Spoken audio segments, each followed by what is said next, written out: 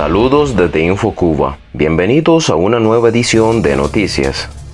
Parlamentarios europeos, Estados Unidos y Canadá fundan Foro Transatlántico por una Cuba libre. Parlamentarios de Europa, Estados Unidos y Canadá y activistas de la sociedad civil a la oposición cubana fundaron este sábado el Foro Transatlántico por una Cuba libre, una iniciativa para coordinar acciones intercontinentales en apoyo al reclamo de cambios democráticos en la nación caribeña. Miembros de Archipiélago debaten su futuro en derecho a réplica de Ian Padrón. Entre los invitados estuvo también el dramaturgo Junior García Aguilera, la cara más de Archipiélago, quien actualmente se encuentra en España y había conversado ya con Padrón hace unos días.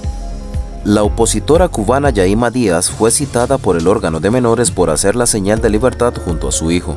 Yaima Díaz, coordinadora de Archipiélago, fue citada al órgano de menores por una foto donde junto a su hijo hacía la señal de libertad, surrealista en un país donde obligan a los niños de 6 años a que griten que por el comunismo serán como el Che.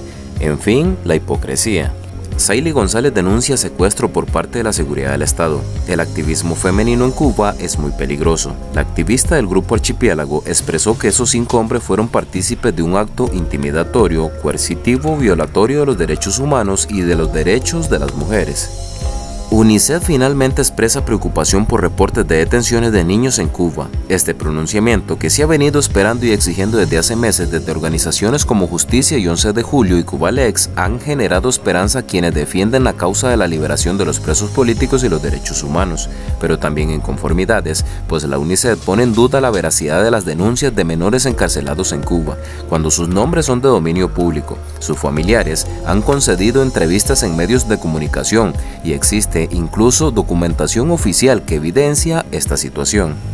Aparatoso accidente de tránsito en la curva de Puentes Grandes en Habana. Varios usuarios de la red confirman que en el accidente no hubo víctimas ni lesionados, pero que el automóvil quedó destruido. Nos despedimos de una nueva edición de Noticias.